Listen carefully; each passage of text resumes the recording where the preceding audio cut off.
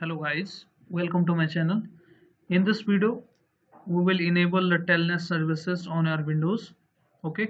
I will show you three steps. In the first step we will go with the graphically. For that go to control panel okay? Open control panel okay? Make sure you are choosing this large icons after that choose this option programs and features option. And after that click on this option. Turn windows feature on or off. And here look for telnet okay? These are the graphical ways to enable this. So let me you can see here telnet client okay click on this option and click on ok. And after that restart your system. It will automatically enable the telnet on your windows. This is the graphical way. Okay if somehow you are unable to do so you can follow the powershell command. Okay open powershell in a admin mode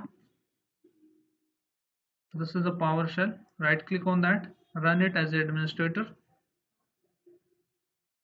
And click on yes button when the prompt opens. And now hit enter.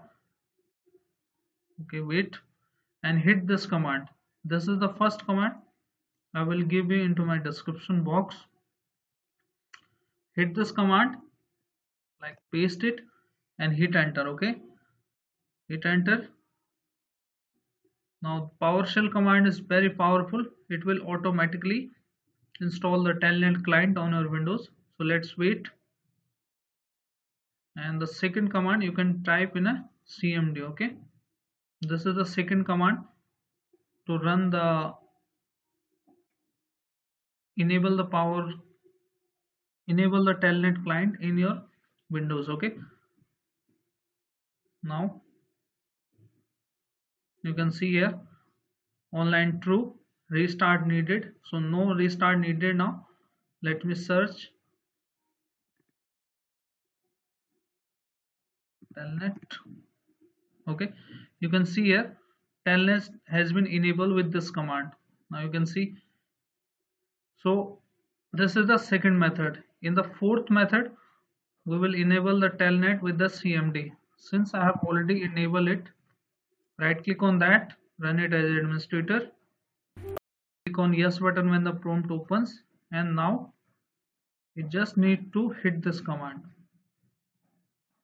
I will give these commands in my description box. You just need to hit this command okay? After that your telnet client will be enabled on our windows. So hope this video is useful for you and your telnet client has been enabled if yes then hit like subscribe and share.